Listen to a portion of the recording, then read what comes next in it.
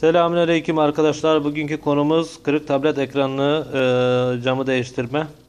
Öncelikle arkadaşlar e, tabletimiz e, siparişini verdik. Temiz olan bunu e, şimdi bunu çıkardıktan sonra yerinden tableti çıkardıktan sonra bu yeniyi bu jiletini sökmeden e, denememiz gerekiyor. Eğer bu jiletini sökerseniz e, garanti dışı kalabilir. O yüzden sökmeden Şuradan bağlantı bir e, bağlantıyı şu bağlantıyı şuradaki tab e, dokunmatik ekran yerine e, monte ediyoruz arkadaşlar. Tableti açıyoruz. Ondan sonra de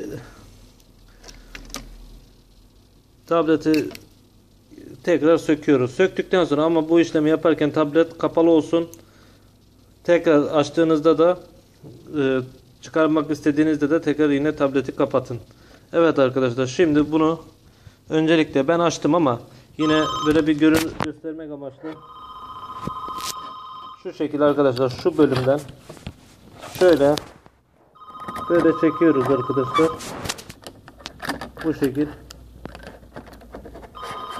Çektikten sonra bunu kaldırıyoruz. Bunu kaldırdıktan sonra kırık tableti şuraya koyuyoruz. Evet arkadaşlar. Önemli olan husus şuralarda ee, bakın şuralarda parmağımın olduğu yerde yapışkanlar kalıyor. O yapışkanları muhakkak temizleyin. Temizledikten sonra arkadaşlar bunu ee, bu şekil. Yalnız aldığınız dokunmatik ekrana çok dikkat edin arkadaşlar. Bakın normalde benim Pirhan'la tablet marka olan Casper gönderdiler ama daha önce de Casper göndermişlerdi. Taktım ve çalışıyor arkadaşlar.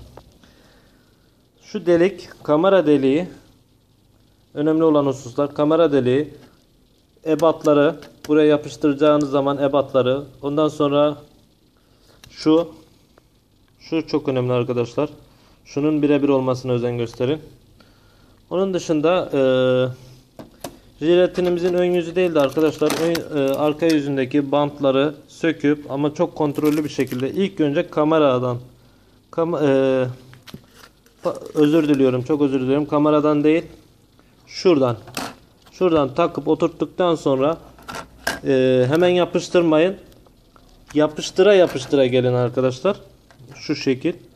Yapıştıra geldikten sonra bırakın sonra bastırın üzerine. Tamamdır arkadaşlar.